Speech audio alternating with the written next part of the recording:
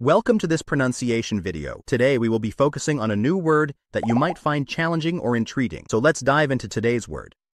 Wireless, which means transmitting signals without wires using electromagnetic waves such as radio frequencies.